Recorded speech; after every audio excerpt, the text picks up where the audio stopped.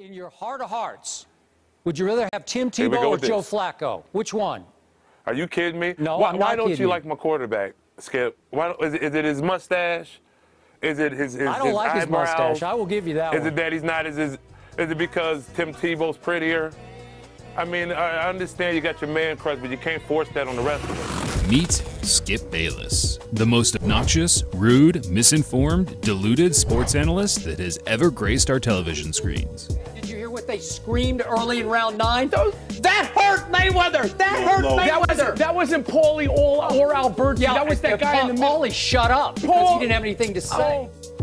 I never thought in a million years I would ever have to make a video addressing this supposed expert on my channel.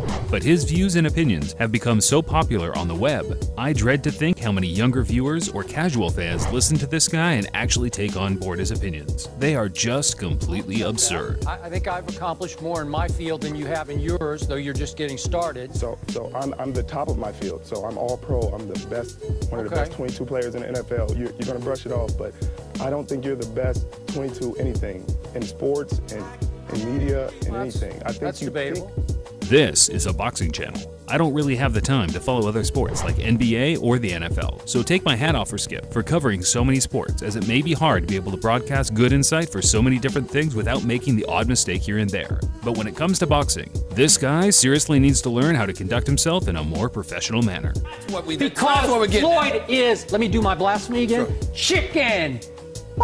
So disrespectful for you to say something like that. We are talking about Floyd Mayweather here, the best pound for pound fighter on the planet. No, You- that's Pacquiao.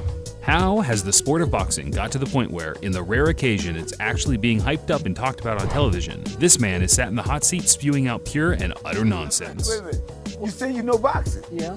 What is a Maybe I don't know. Tell me what a pull counter is. Paul Connor, I've never heard that term. before. That must be your term. You must have invented No, it that ain't, it ain't my term. It's, it's, it's all the fighters' term that you, something you don't know about. Like I said before, for all I know, he could be an expert on basketball and football topics, and I'm sure there'll be some fans of his watching this that could let me know in the comment section. But one thing I do know about is boxing, and in this case in particular, Floyd Mayweather Jr.'s career. Now that is something Skip Bayless clearly knows nothing about, or has such a hatred for the man he can never give him an inch of the credit he deserves. One thing I'd like to make clear is I am not a Mayweather superfan. I'm a fan, yes, but just as much of a fan as I am of any other boxer. So this is not a video to try and give any unnecessary praise to a man that has already clearly earned his respect in the sport.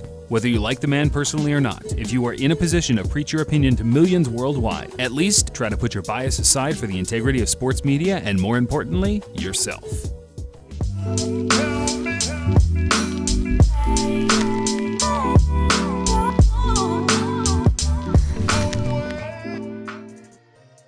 It's not easy to find clips from before 2011 and 12 of E ESPN's First Take covering boxing, but in every clip I did find, Skip Bayless was running Floyd Mayweather to the ground time and time again. Get exposed.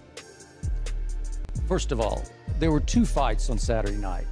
one in the ring and one on Twitter between me and my friend. Yes. You went round And- by round. Round by round, and I won the fight on Twitter. And, How? and, and Who told you that? Who told you that? And, and Mayweather was very fortunate to win the real fight in the ring.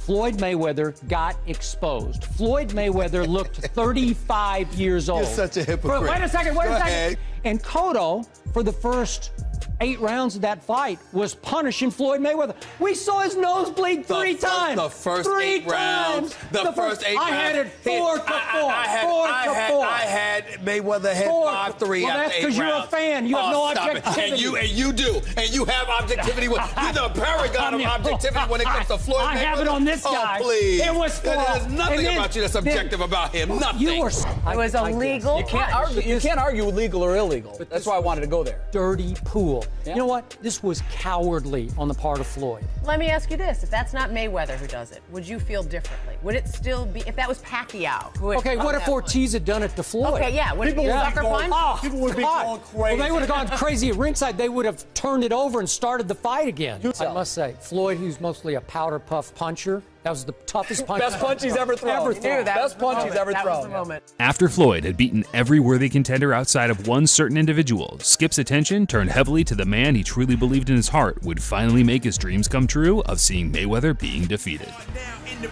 Now in the presence of of a legend. You ain't gotta ask, already know who the best is. First name Manny, last name Pacquiao. When the bell ring, get ready for the smackdown.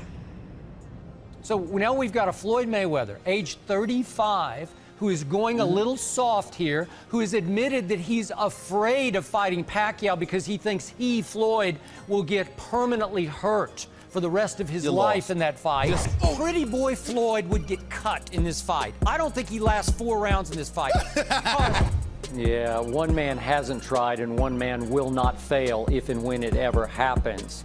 But here's my point about bark, bark, bark, Floyd Shut- Mayweather. Stop it, stop it. He's been the coward here from the start. I'm going to be disrespectful. You know what? Floyd Mayweather is more overrated than that Blake Griffin dunk we did. Oh, wow. He is. You're so done. He's, D- he's a two. Wow. He's Skip. Floyd Yo, yo. Fairweather. He's been running from this dude for, for months Don't now. be disrespectful. I'm being disrespectful Don't be because I'm telling the truth. If Floyd doesn't want any part of Pacquiao, mm-hmm. the right hand is why Pretty Boy Floyd would get cut for the first time in his career. And the right hand is why I think Floyd, as Arum suggests, would be dropped in this fight by the third or fourth round. It would be over quickly, painfully, and humiliatingly for one Floyd Mayweather. Well, the fight was finally agreed upon, and I think it's fair to say Mayweather left no doubt in any real boxing fan's mind who won. He thinks Mayweather's going to come out quick. The way Pacquiao's reacting, Mayweather's right hand is stronger than he gets credit for, and the timing is flawless. Really? Fighting scared? It looks to me like Money May is totally dominating the action. Boom! It's been another quintessential Floyd Mayweather performance as he is clearly enjoying himself, taking Manny Pacquiao to the school of the sweet science.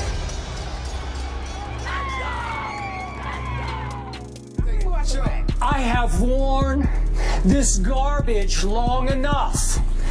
This is it. Done with you. What? Now, it's my turn to talk on this show because I got a whole lot to say and you got a whole lot to listen to. Here's the truth of what happened on Saturday night Manny Pacquiao won that fight. Oh, he didn't do nothing. That's my bottom line to the whole fight. Floyd Mayweather didn't do nothing. I have never been more shocked and, and in this case saddened by the outcome of a sports event than I was by that one. I'm talking about the miracle on ice, Kirk Gibson, Dwight Clark's catch. Those were all positive outcomes, shockingly positive.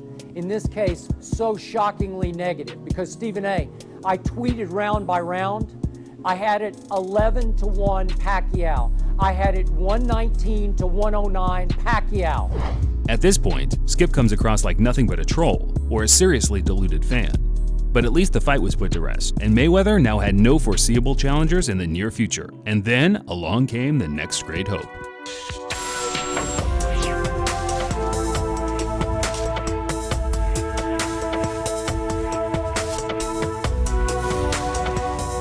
you know what I believe, Shannon Sharpe?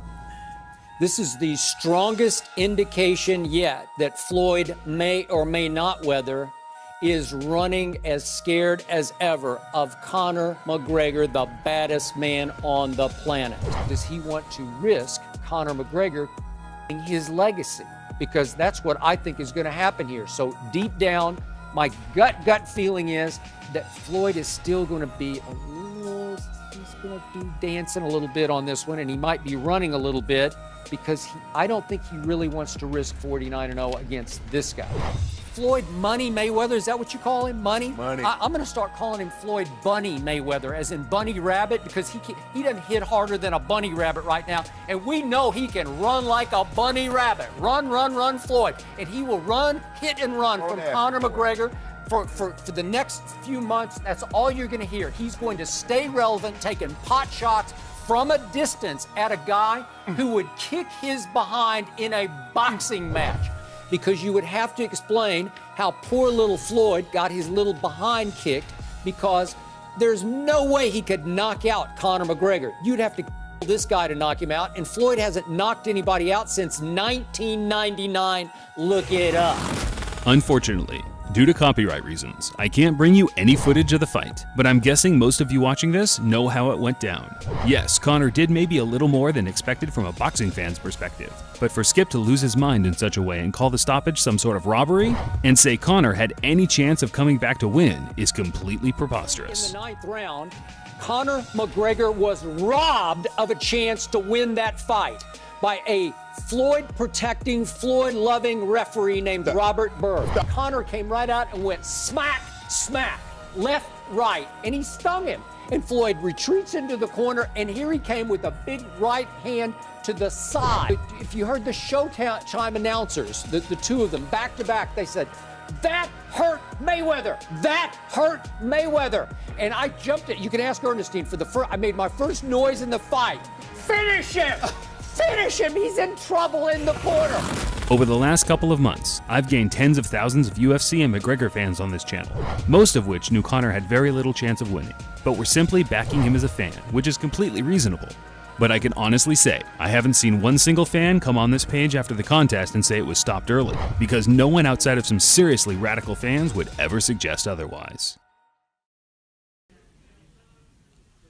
It happened so fast. I need to see a replay, but you Conor fans know what I'm talking about. I, he had him, and Robert Byrd pulls him away and saves Floyd.